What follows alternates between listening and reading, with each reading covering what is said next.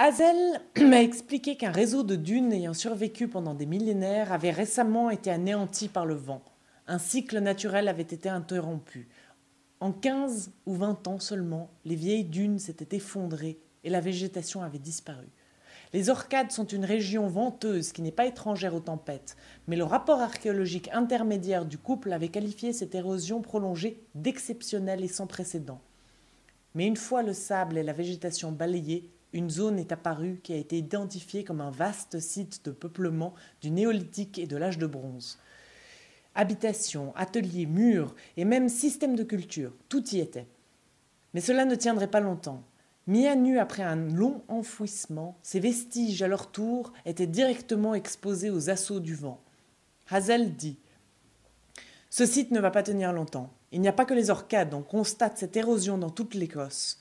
Les vestiges que nous sommes en train de mettre au jour sont restés enfouis pendant 5000 ans et n'avaient jamais été exposés de cette manière. Ce qui est en train de se passer est significatif pour l'archéologie, mais aussi pour nous, pour l'espèce humaine. Je vais vous présenter la rentrée 2020 de la Baconnière. Nous nous sommes concentrés sur une seule publication d'une auteure que nous suivons depuis désormais deux ans.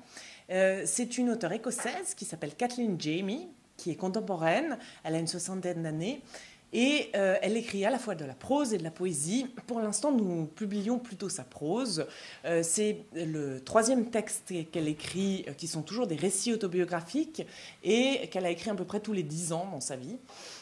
le premier, Dans l'œil du faucon, a été publié chez Hubeke.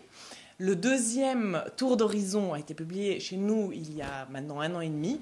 Et le troisième va paraître là, Strat, en septembre. Je vais donc vous présenter un petit peu plus en détail Strat. Euh, ce sont donc de nouveau des récits autobiographiques euh, qui traitent de la question du vivant.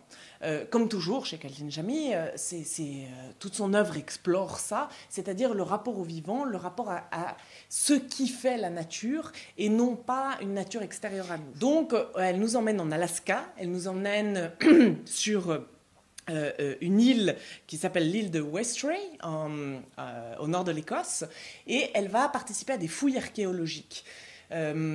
Ces, chapitres sont, absolument magnifiques. Elle, elle, parle à la fois de ce qui s'y passe, du rapport des habitants à ces fouilles. elle, a toujours cette façon très forte, avec des images très très marquantes, mais euh, qui, ne poétise pas la nature, qui ne poétise pas ni les gens, ni la nature, ni les choses. Elle est, elle est toujours très froide, très, très élégante euh, dans son écriture. Euh, elle va aussi explorer son passé, son propre passé, avec des, des, choses sur sa mère. mais aussi un, texte extrêmement intéressant sur la Chine, euh, un voyage qu'elle avait fait quand elle était jeune. Et il se trouve qu'elle a été juste l'année de la révolte étudiante en Chine.